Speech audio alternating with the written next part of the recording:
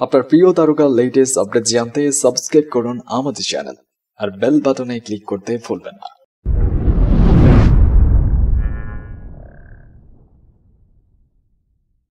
বাংলাদেশের চলচ্চিত্র জগতের কিংবদন্তি তারকা তিনি।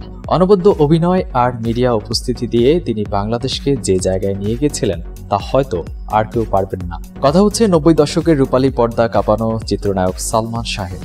উনিশশো ছিয়ানব্বই সালের ছয়ই সেপ্টেম্বর আলোয় ভরা চলচ্চিত্র অঙ্গনকে অন্ধকারে ডুবিয়ে পরলোক গমন করেন তিনি। তবে তার জীবনকাল যতই সংক্ষিপ্ত হোক না কেন, এই ক্ষণজন্মা তারকা কিন্তু তার কর্ম দিয়ে আজও বেঁচে আছেন তার ভক্তদের মনে।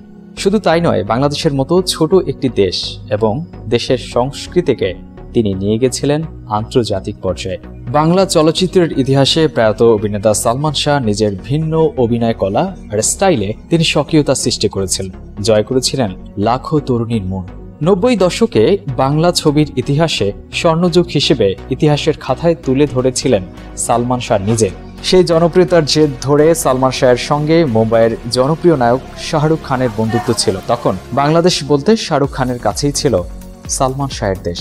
এই ছবিটি কিন্তু তারই প্রমাণ বহন করে। কেমত থেকে কেমত ছবির মাধ্যমে বাংলা ছবির জগতে পা রাখেন বিশ বছর বয়সী তরুণ সালমান শাহ। প্রথম ছবি দিয়েই দারুণ পরিচিতি লাভ করেন তিনি।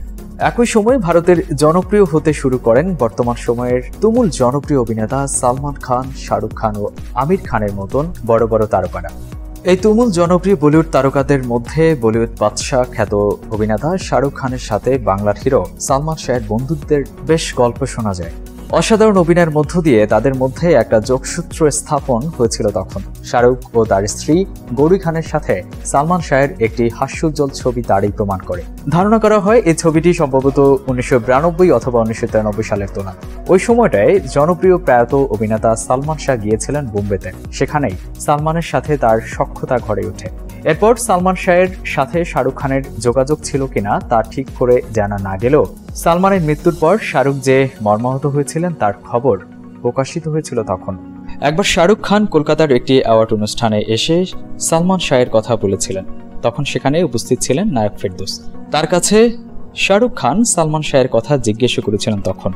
তার মারা যাবার খবর শুনে তিনি দুঃখ প্রকাশও করেছিলেন তখন।